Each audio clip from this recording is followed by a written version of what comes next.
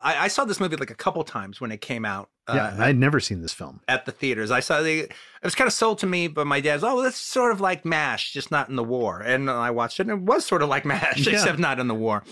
Um, and even though I think 75% of this movie just operated way above my head. I, I, couldn't have I couldn't have understood anything.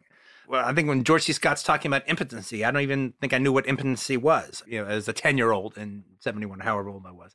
But I still thought it was really funny. I still really, really liked it. And I thought George C. Scott was fucking amazing, even though I didn't understand what he was talking about or didn't even under, couldn't even understand what, what Paddy Chayefsky was talking about. And I was still mesmerized. But I hadn't seen it in uh, uh, quite a long while. I and I brought it up to Roger and realized he hadn't seen it at all.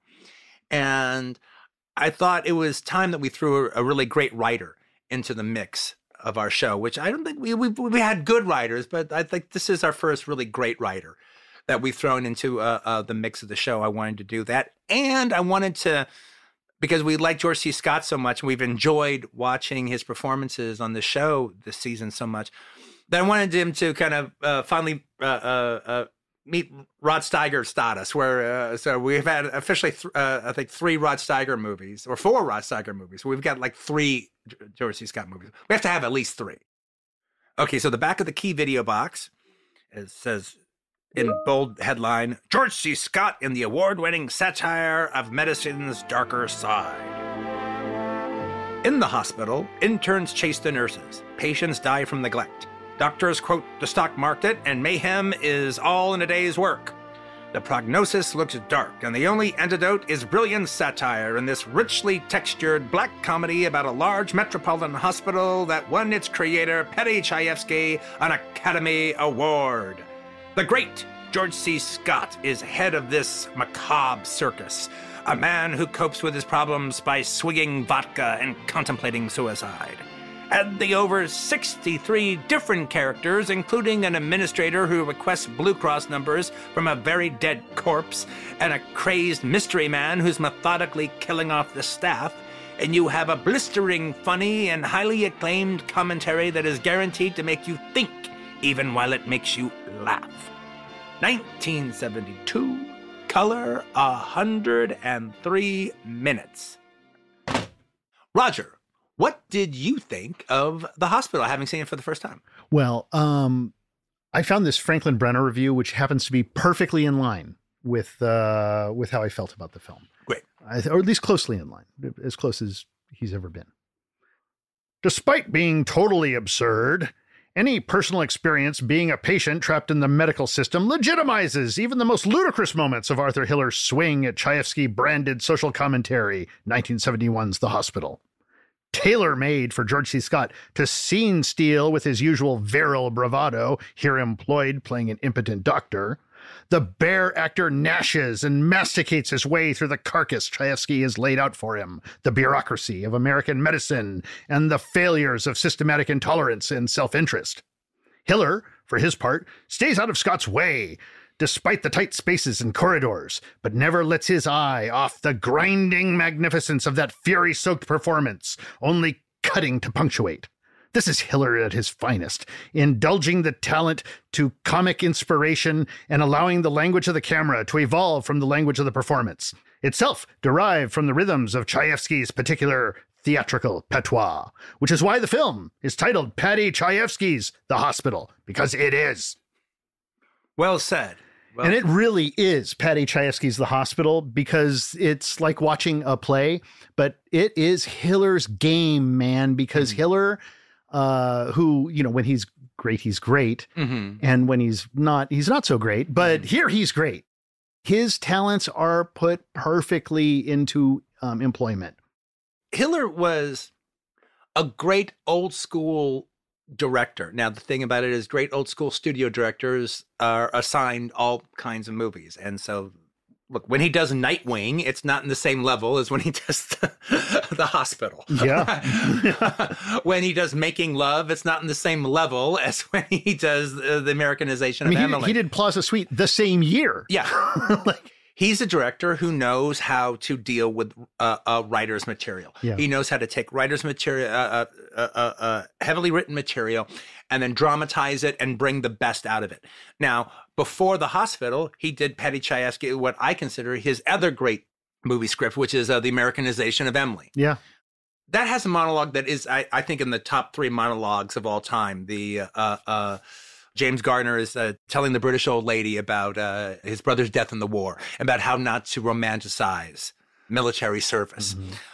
That whole that whole movie is fantastic, and he does it again with the hospital. And the same year, he'll attack uh, Neil Simon with Plaza Suite, and so you know, he's the guy that you bring in to to do these terrific writers and figure out how to bring the best out of them, how to bring the best out of the actors, how to get the best out of the dialogue, and how to get the best drama or comedy out of a scene, how to put it on its feet dramatically. Yeah, and, and, And the best way to do that is to stay out of the way Mhm. on a personal level and serve the material, which you can really feel like this is a director who's workshopped it.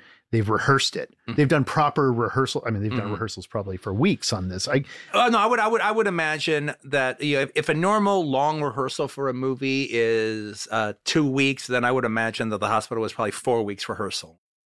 But one of the things that Hiller uh, does to ground these these projects, like for instance, in the case of Love Story, you know, he had a really fun script and a real fun movie. With no, this is a good emotional package. An audience goes and sees this movie, they're gonna they're gonna have a, end up having a good time at the movies. It's a good emotional, fun movie. I say fun, you cry at the end of it, but that's fun. All right. Uh, um, in the case of both his two leads, Ryan O'Neal and Ali MacGraw, their chemistry is wonderful together. Now, Arthur Hiller sells that in the whole first half of the movie by having scenes that, that uh, of the two of them uh, just doing their banter back and forth, a little patter back and forth, uncut. Yeah.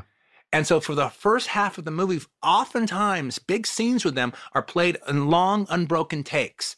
So you actually see that they actually do have chemistry together. They actually belong together. You actually like them together. And it's not the movie making that happen. That actually literally just is their dynamic. And consequently, in the hospital, he has long, long, long uh, George C. Scott monologues delivered without any cuts whatsoever. And not just monologues, entire dialogue driven scenes. oh, it- this Uh, goes like- on and on and on. He might move the camera to a different position to give the illusion of a of a, A cut. that you've seen a cut. yeah. But it, I, I was stunned at how long he held. Again, especially in the first half. Especially in the, first, half, yeah. And he goes out of the way as as as crazy as and absurd as the movie is to really ground the hospital in uh, uh, a recognizable chaos going A on. realistic chaos. a very a very like real. it's not overfilled. It's it's not ridiculous. Now, okay, here's the thing though. I think there is a difference between the first half of the movie and the second half of the movie. And the first half of the movie is the realistic part Yeah. of of the film.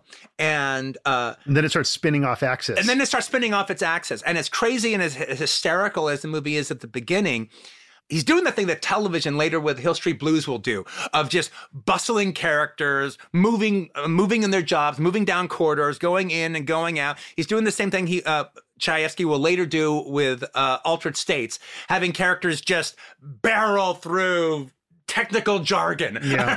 at, a, at a rapid pace, but the actors seem to know what they're talking about as they bombard you with their jargon as they walk down these halls, at, at, usually at, the, at, full volume. Well, in the case of uh, Altered States, always at full always volume. at full volume. Yeah. Um, but look, I just I have an issue with the film that actually is less an issue and more of a point of departure to talk about the film. But I just thought the hospital was just fantastic.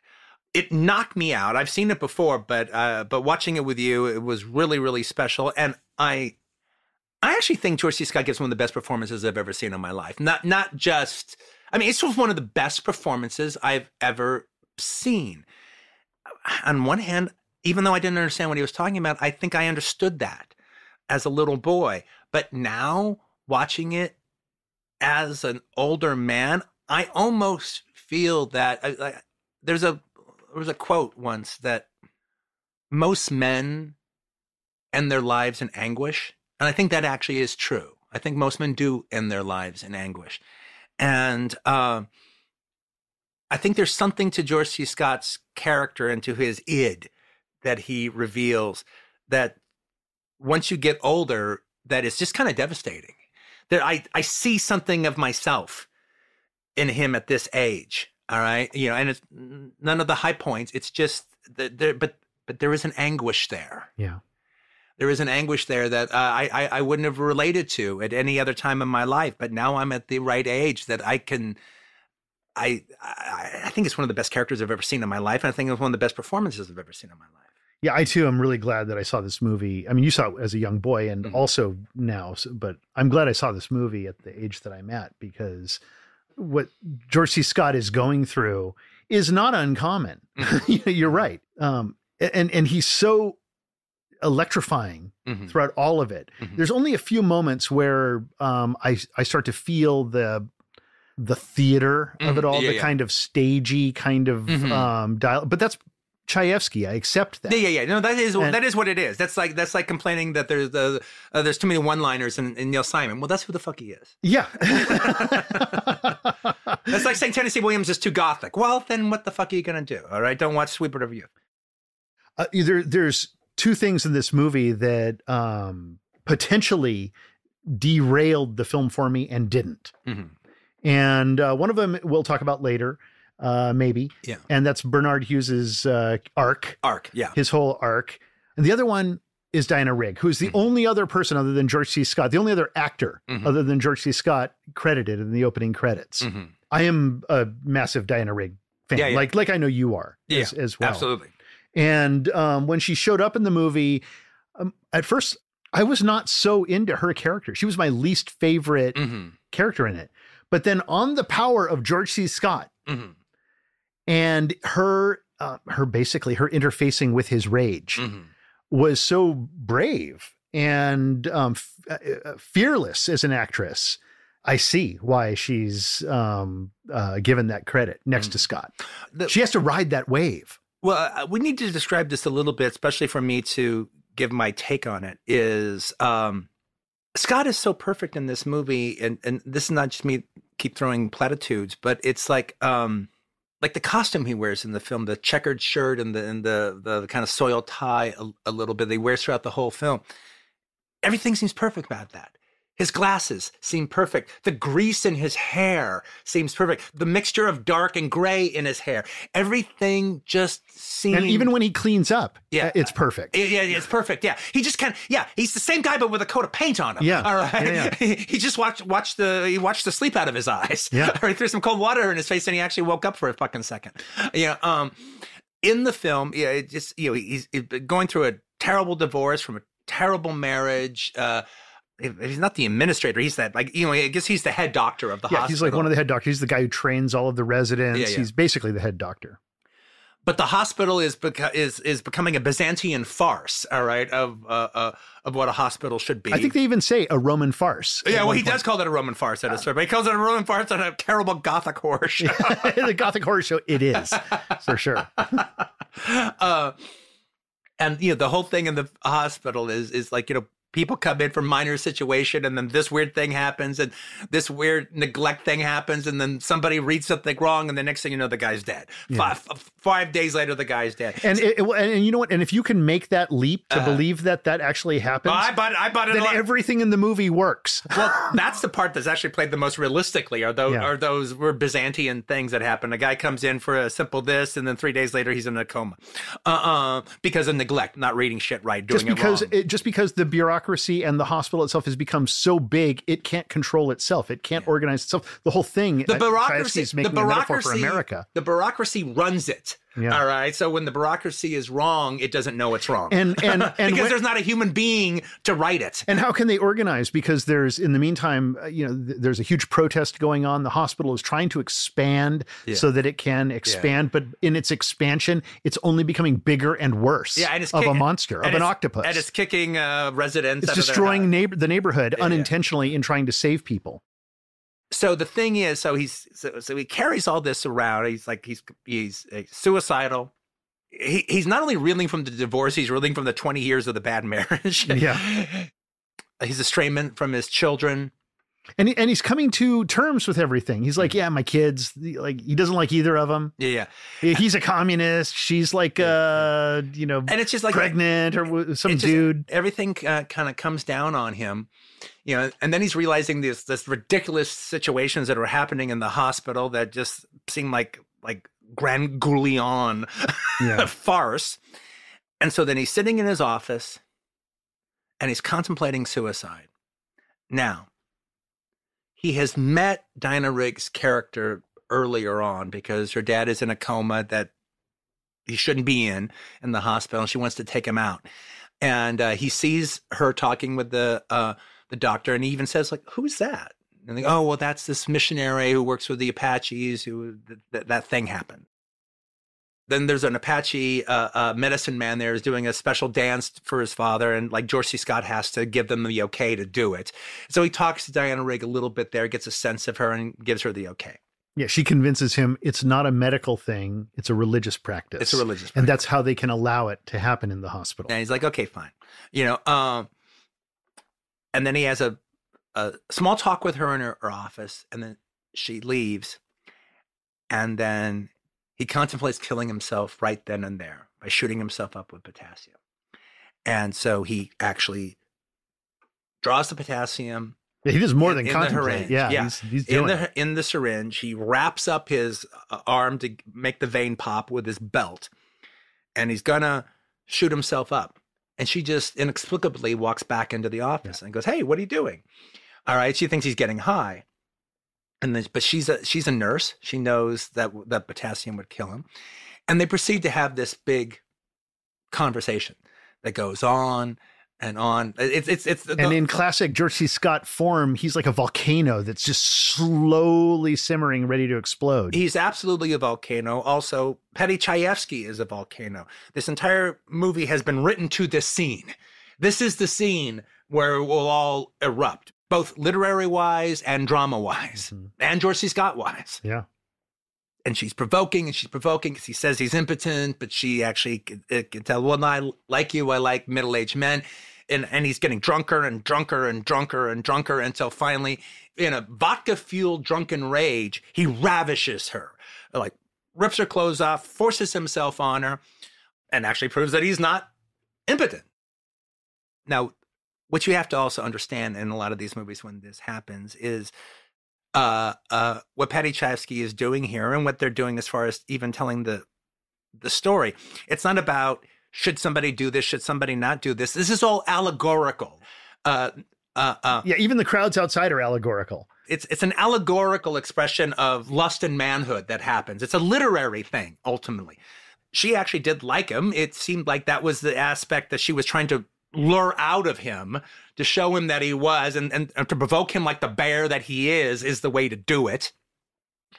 And it works. And then from that point on, then the movie is, is different. And then a, an interesting aspect is added to it where it almost becomes a, like a, it borders on a silly romantic comedy. Mm-hmm. All right, where it's like Diana Rigg is, look, I love you, you love me, so why don't you just leave all this behind, all your misery, and then just go with me to Mexico and we'll live amongst the Apaches and we'll just be together and You know, we'll have a baby and we'll live life. And goes, I can't do that. What are you talking about? You almost killed yourself an hour ago. I'm offering you something else.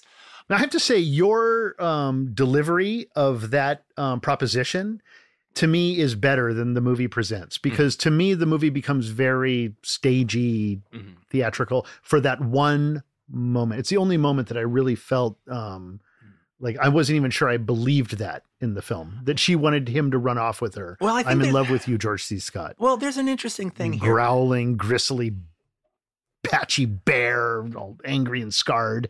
Well, I I actually think George C. Scott looks very virile in this movie. Well, he oh, he does. He, Just- he always looks virile. He Yeah, looks like, like, like he looks very like he looks as virile in this as he does in the last run. All right. Uh, um, I took that at face value Mhm. when I watched the movie, but I've been thinking about the hospital all weekend long me too. since I saw it, and I think there's a case to be made of another reading of the movie.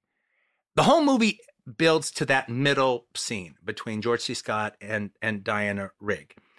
then it happens and it changes everything. Now, now, admittedly, the events in what happens, him ravishing her and and and and and and having this new lease on life and everything, those would be events that would change everything. But it doesn't just change everything as far as the events that are being portrayed. The entire movie is different after that. All the weird, absurd comedy that happens in the first half of the movie is still grounded in reality. Those little stories about how this patient came in for this and ended up this happening to them and that happening to them, and that all sounds very convincing. You buy it. Mm-hmm. You absolutely buy it. Uh, there is also there's this killer going around killing doctors and nurses, and we see this going on throughout the film to some degree. After the second half, things are never grounded again. Things start becoming far more absurd. Things become far less plausible things are more hysterical than they were before. Um, almost, and, almost outlandish. They're, no, they're outlandish. Everything gets more surreal. Everything gets more out of control. I don't buy the things that are going on anymore. There is a reveal of who's doing the these murders in the hospital. I didn't buy the reveal. I didn't buy the whole story about it. I didn't I didn't buy it. I just didn't buy it. I didn't find it plausible. I didn't buy it. Oddly enough, even when we watched it, that didn't bother me. Mm-hmm. You know, when you're when you're somebody like Paddy Chayefsky, you're always swinging for the fence, and sometimes I'll go with you, and sometimes I won't. But it doesn't ruin the whole game. But here's where I'm going with this. Over the week, I started thinking about it. I don't think Diana Rigg is real at all. Here's what I think. I think he did see her in the hallway I think he did see her in you're the hallway. In, in Gala territory. No, I'm not. I, I think there. I think you can back it up. I think. Uh, uh I, I think the movie backs it up. George C. Scott saw her talking, you know, and he go, "Oh, who's that?" You know, so she's somebody who caught his eye. Then he got together with her to give her the okay on on uh, the medicine man. Got so he got a sense of her, got a sense of how she talked and everything. Oh, she's British, got that. All right. Then they have their little scene, and then she leaves. I'm taking my father out, and that's it. Boom. That is it. She's left. That's it. She's gone from the movie. She's gone. She left his life. Boom. Then he goes, he gets the potassium, he wraps up his arm, he's about ready to commit suicide. And then inexplicably, an angel comes back. There's no reason for her to come back. She doesn't come up with a reason why she came back. Mm-hmm. She comes back and she literally becomes an angel the moment she comes back. She literally saves George C. Scott in every way she can possibly save him. If we're to take him at face value, he was going to kill himself right there. So, right there, by walking into the room, she saves his life. Then she proves to him that he is a man and that he, uh, that his impotency is, is, is based out of his own dissatisfaction. Uh, and so she, so she brings him back to life as, as a man, as a living person, as somebody who actually cares about life. And then, and I love you. And I want you to go with me and we can live this love. This is what he wants. These are the things he doesn't have. And then this fantasy woman that he just had a small encounter with comes in and you know and and and, and shows him this way and now, all, and all she does is offer him a future that he will deny so that he can continue with the hospital exactly and now it makes sense that everything is so fucking crazy out of control because we are now being told the story. We are now, from the second point on, we're being told the story by an unreliable narrator. Yeah, I mean, even that riot that's going on outside starts to feel like the riot in Inception. Yes, inside exactly. of yeah, the yeah. dream. It's like no. this weird abstract riot he's just drank uh, like a full Absolutely. bottle. Absolutely. It's unrealistic that this angel can come in and cure all of his problems. He needed the catalyst of an angel for him to cure his own problems. I mean, I like the movie more that way, yeah. to be honest. Mm-hmm. Um, uh, and again, I'm not certain that that's how it is. It seems as far fetched as any of my highfalutin ideas mm-hmm. that I come up with on movies. How, having said that, I like it better.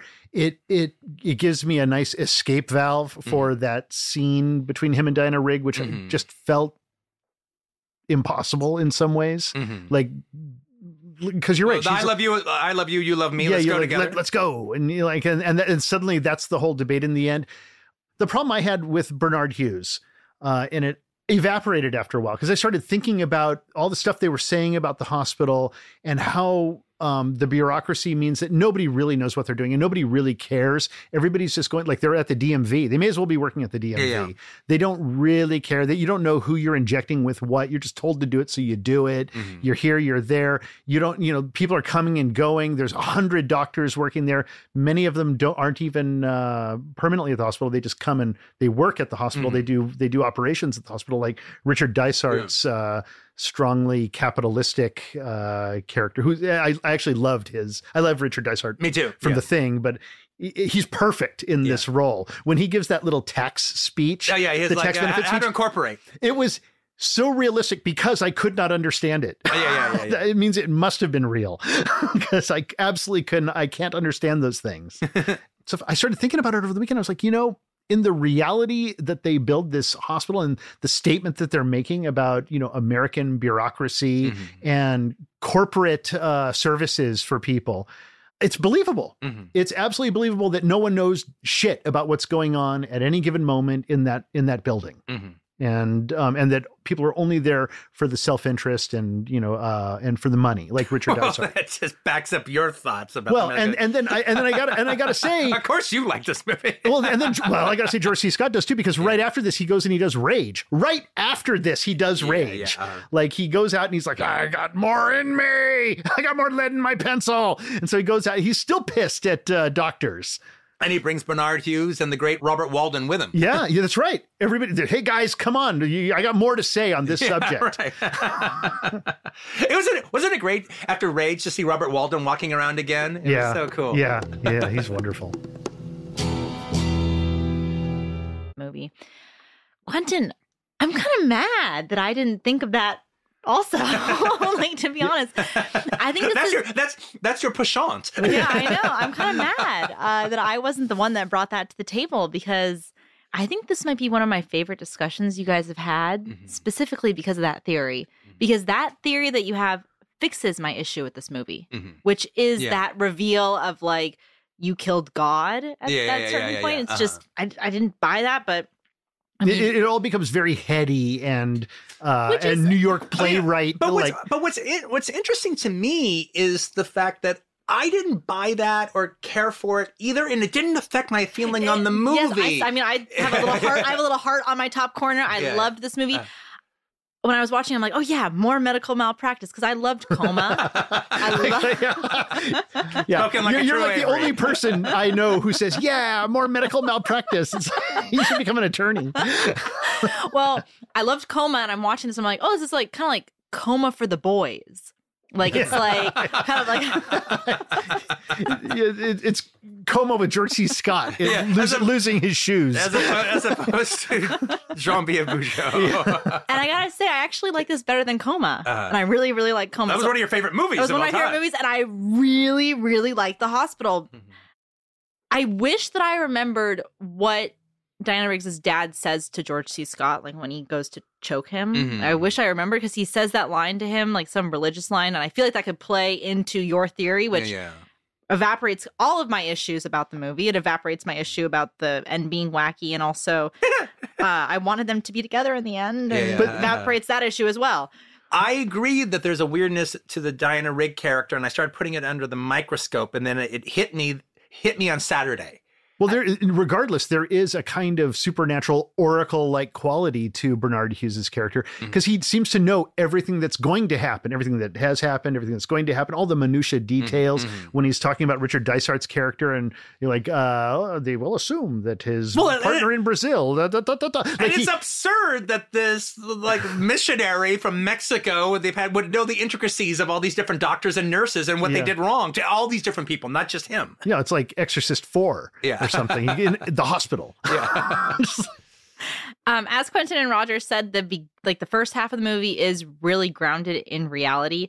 If you want to know more about medical malpractice, I would recommend reading Gawande's book "Complications: A Surgeon's Notes on an Imperfect Science," which literally is just this movie. It's all of like him being like an intern into being a doctor of like all the medical malpractice that he witnessed, and what happens to Diana Rigg's father is really normal. That you go in for a biopsy and then all of a sudden it's like you nick this and you nick that and then you're in a coma and then you die Happened to my mom. happens all the time. So, uh, and also Groopman's How Doctors Think, if you really want to get into medical malpractice, like for some reason I did.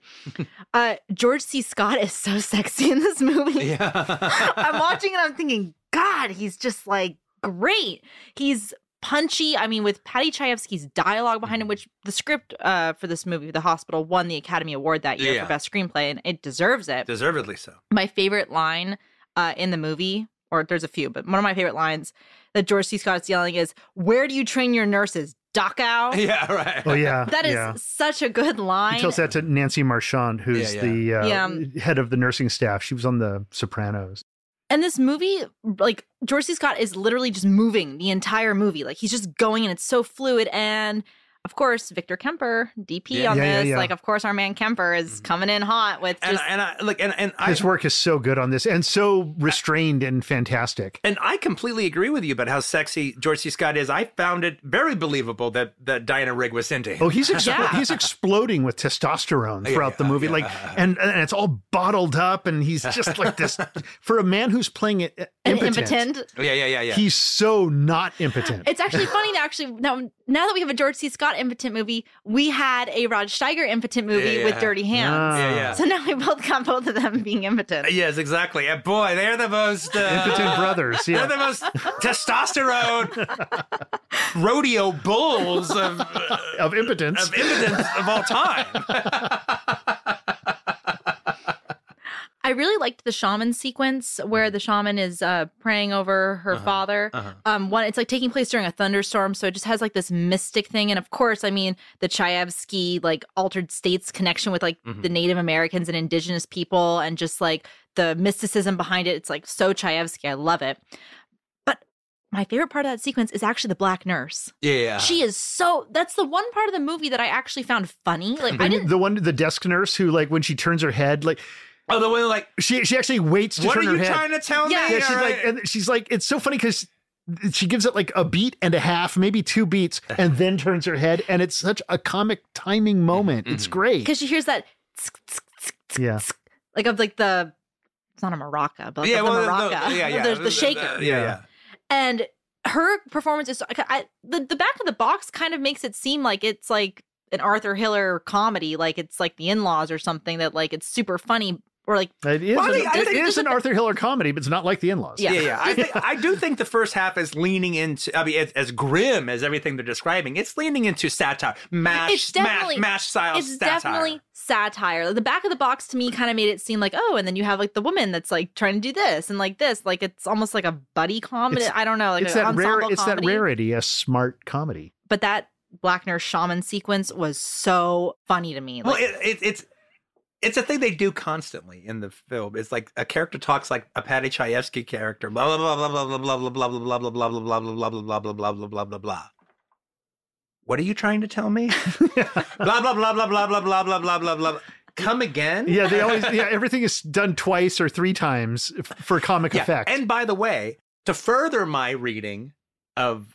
the film, you will note. Look, we expect George C. Scott to talk like a Paddy Chayefsky character. He's the lead in a Paddy Chayefsky script, and he's George C. Scott, who can handle dialogue as well as anybody who's ever lived.